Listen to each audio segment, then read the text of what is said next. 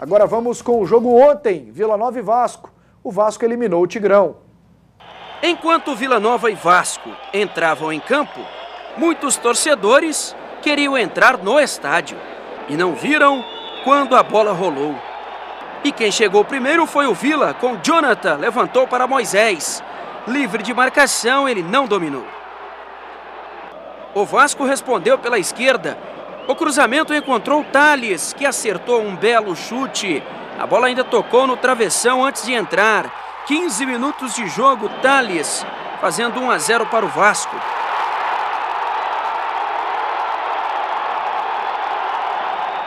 O Vila Nova então foi à luta e na cobrança de falta, o Alisson obrigou Martin Silva a fazer grande defesa.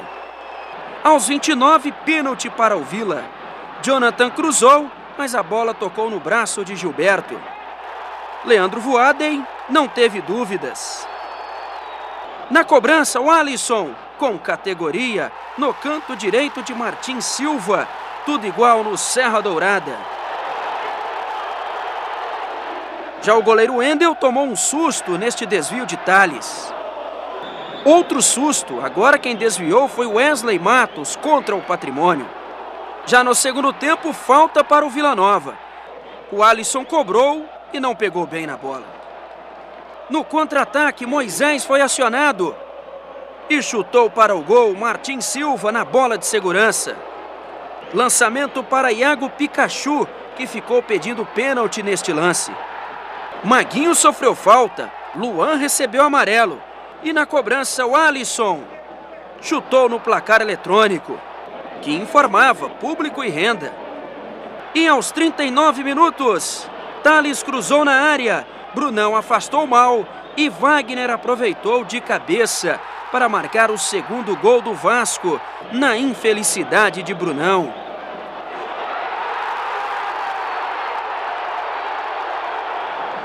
Nos minutos finais, o Vila Nova ainda tentou o gol de empate. Mas no contra-ataque, aos 47, quase tomou o terceiro. E o jogo terminou. Vila Nova 1, Vasco 2. Daqui a pouco tem as entrevistas. Agora, antes das opiniões, que judiação com o Brunão. Ele é. fazia um jogaço, Evandro. Estava um jogaço. Até, eu até conversando há pouco aqui com os professores, Volmir e Eduardo, né, um reitor, o outro diretor aqui da televisão. Isso. Professor Volmir é internacional, até brinquei com ele. Eu falei, vocês vão estar mal na Copa do Brasil, que o adversário é o Sampaio Correia. Lá do seu Maranhão. Lá do meu Maranhão. Ele falou, é, vai ser difícil mesmo. E o professor Eduardo, que é um torcedor do Goiás também, estava se lamentando pela, pela infelicidade do menino Eu do Vila Nova. Eu fiquei com muita né? dó na hora. É, mas você sabe o que é importante, Pasqueto? É assim, é, a falha dele determinou a derrota do time do Vila Nova né? Ninguém sabe o que poderia acontecer em pênaltis se chegasse a esse ponto, mas foi a reação do torcedor do Vila Nova. Ao descer para o vestiário, ele foi aplaudido de pé pelos torcedores, gritando o nome dele. Quer dizer, fora o, o apoio que ele teve dos jogadores dentro de campo ainda, a, o apoio da torcida foi fundamental para esse menino levantar a cabeça. Ele não pode ficar marcado por um erro que tira o Vila de uma Copa do Brasil. Até porque Desde que entrou no time do Vila Nova, ele vem sendo um dos principais zagueiros do time. E é jovem, é a maior revelação do Vila Nova nessa temporada, talvez a maior desse, do campeonato goiano. E é um jogador que tem um futuro imenso pela frente. O Vila pode ganhar muito dinheiro nele. Ô Jean, juro para você, ontem assistindo lá em casa, quando eu vi ele afastando umas bolas, marcando direitinho, e ele cabeceando com direção, entendeu? O Brunão, jogando bem, firme, eu pensei comigo, se esse rapaz tiver juízo, ele vai ser jogador de time grande. Passou um minuto, ele falhou. Juro que eu pensei isso, sabia, Jean? Porque Não, ele, ele, tem capacidade. Ele tem qualidade, né? E aí as pessoas precisam separar as duas coisas. E ele também. Não é para ser crucificado, evidentemente, como muita gente faz, mas também não é para minimizar, como alguns atletas do Vila Nova tentaram minimizar o erro. O erro ele é crasso, ele é grave. Aconteceu. Né? É, para o futebol, o Brunão precisa amadurecer com isso, precisa ter a personalidade necessária que o futebol permite, às vezes vai cometer um pênalti dentro da área, o Vila vai perder um jogo, vai perder uma final de campeonato, ou outro time que ele esteja jogando. A profissão dele tem esse lado que às vezes o peso do coletivo cai nas costas de um. mas por outro lado também faz parte do crescimento, do amadurecimento, da profissão e que ele cresça, porque talento, como você disse, ele tem de sobra. Aliás, o Mazola falou sobre o Brunão ontem. Vamos acompanhar aqui as entrevistas. Por último, o Mazola Júnior, técnico do Vila, falando da eliminação e também do Brunão. Veja. A gente veio é, para conquistar nossa vaga, continuar no nosso foco, que é continuar na Copa do Brasil firme para conquistar nosso objetivo, que é o título. E o Vasco foi melhor durante os 90 minutos ou não? Ah, o jogo foi bem equilibrado. Mas no final o time deles deu um mole e a gente soube aproveitar. Eu acho que é o gol aí que demonstra a entrega nossa. Um jogo difícil, um jogo complicado, com a equipe qualificada, está bem no estadual e a gente sai daqui hoje com o dever cumprido. Nós fizemos um bom jogo, aproveitamos as oportunidades, as poucas que tivemos. Felizmente aconteceu uma falha, bola para frente, reverter essa situação durante a semana e pensar no estadual agora. Em relação ao jogo, acho que o Vila fez um grande jogo de igual para igual, com uma equipe de, de Série A. O Vila teve muito bem na, na partida, taticamente perfeito.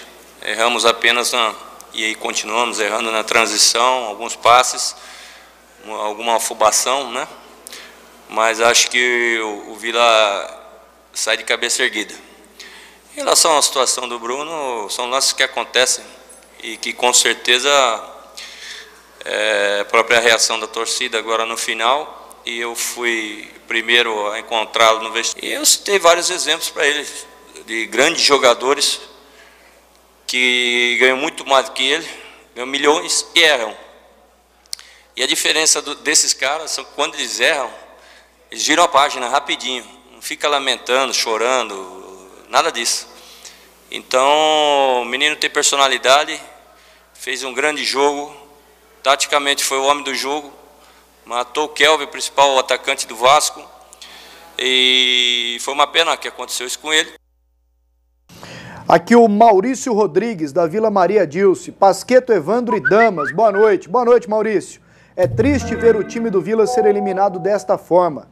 Faltou sorte e também um pouco de capacidade. Maurício Rodrigues. O Pasquete, sobre o jogo em si. Exatamente, Evandro. O Vila Nova mostrou uma defesa muito firme.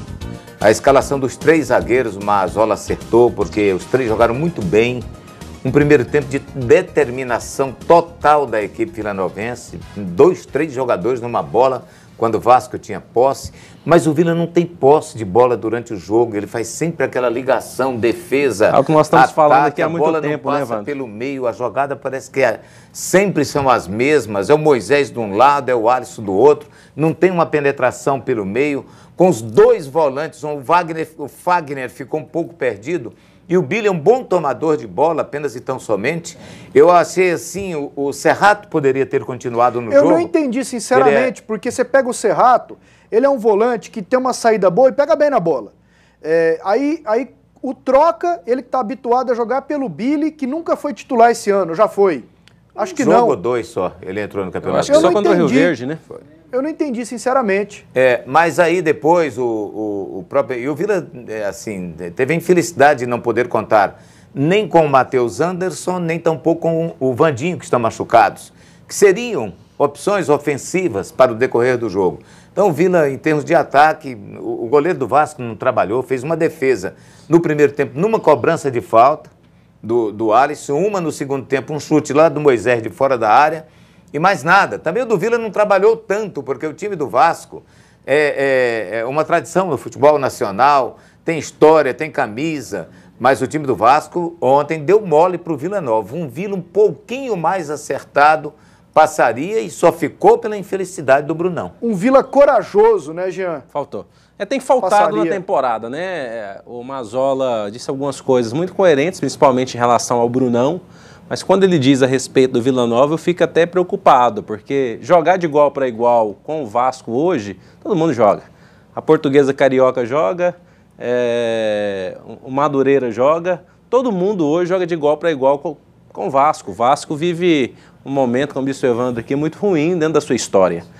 Agora, falta aquilo que vem faltar desde o início da temporada. Quando começou o campeonato, ele se propõe, é, o campeonato goiano, a se defender e na, na boa bola a gente entende. Início de trabalho, você ajusta a defesa, né? você tem uma, uma certa tranquilidade, você minimiza o erro, né? Algo que foi importante para o Vila até agora no Campeonato Goiano, mas as rodadas vão passando, o tempo vai passando, você precisa evoluir é, ofensivamente também.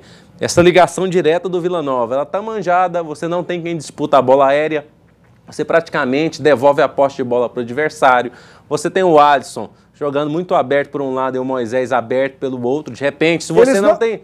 Eles não se cruzam. É, eles campo. não se encontram. O que aconteceu com o Flamengo foi bom, eles mudando de lado o tempo inteiro, o Alisson jogando do lado direito, do lado esquerdo, o Moisés.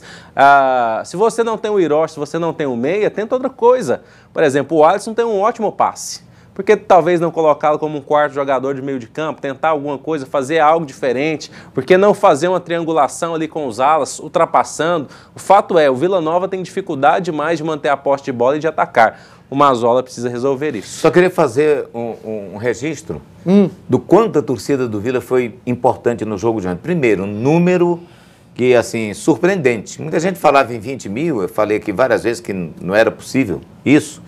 É uma quarta-feira de cinzas. Há muita né? gente voltando é, de viagem. Voltando de viagem. Um jogo 9h45 da noite com TV ao vivo aqui para dentro de Goiânia. TV aberta, né?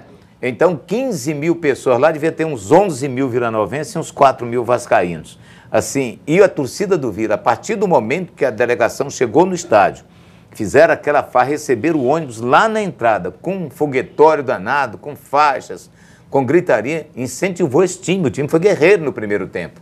A torcida do Vila, mais uma vez, de parabéns pela força que deu a equipe dentro de campo.